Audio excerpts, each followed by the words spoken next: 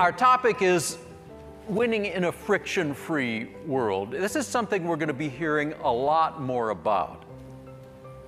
Labor, information, and money move easily, cheaply, and almost instantly in a friction free economy. Every organization and every person can possess the 21st century's most valuable assets openness to new ideas, ingenuity, and imagination.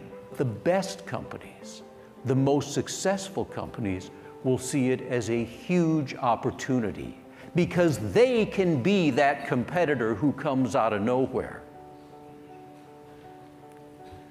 That's why a friction free economy is bottom line more opportunity than ever in history.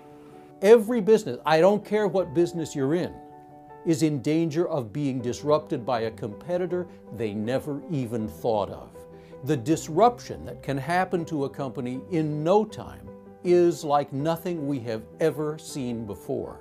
Earlier this year, the largest taxi co op in San Francisco filed for bankruptcy, and we know why, right? We all know why because somebody innovated that business model and it wasn't them. Uber has a business model that doesn't require as much capital. It's the largest ride service in the world and it doesn't own any cars. Another thing that's going to last for a long time geopolitical unrest. What's new is that there is instability among the great powers US, China, Russia that didn't used to be there. I'm at the Fortune Global Forum in Guangzhou, where I'm moderating several of the sessions. Attendees here include Apple CEO Tim Cook, Ford Motor Chairman Bill Ford, Walmart Chairman Greg Penner, Alibaba founder and CEO Jack Ma, Canadian Prime Minister Justin Trudeau, and many others. One big message is coming through here. The clear message from the government officials is China is open for business, welcoming businesses from all over the world, especially entrepreneurs, and promising them a level playing field.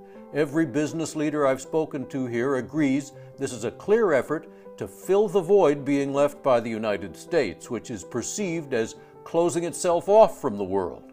Every business person has to confront and embrace the fact that government's playing a larger role in our business lives and it's not going to go back to the way it was. Our topic is business versus government.